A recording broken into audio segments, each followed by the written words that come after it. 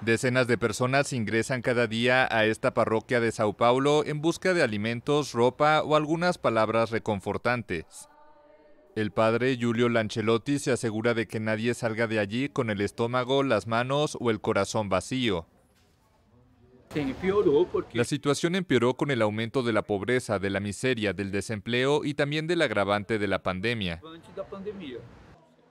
Elogiado como mensajero de Dios por el Papa Francisco, este religioso de 73 años se ha convertido en una figura antisistema y en símbolo de la lucha por los derechos de los más vulnerables, pero también en blanco de amenazas por sus constantes denuncias contra las autoridades y las fuerzas del orden.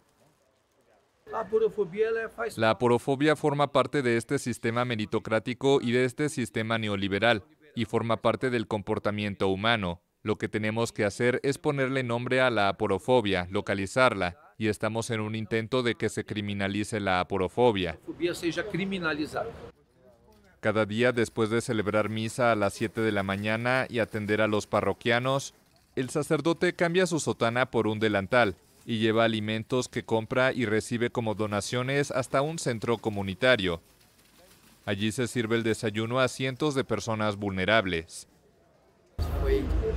Es como, ¿qué puedo decir? Un padre, un padre de verdad, Da consejos, tira de las orejas, pero es muy bueno. Unas 40.000 personas se encuentran sin hogar en Sao Paulo. En todo Brasil, más de 33 millones de personas pasan hambre y más de la mitad de los habitantes sufre inseguridad alimentaria, según activistas.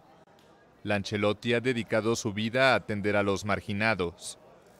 El religioso no esconde su afinidad con el expresidente Luis Ignacio Lula da Silva y refuta el lema del presidente Jair Bolsonaro, Dios está encima de todos, ya que según él está entre nosotros.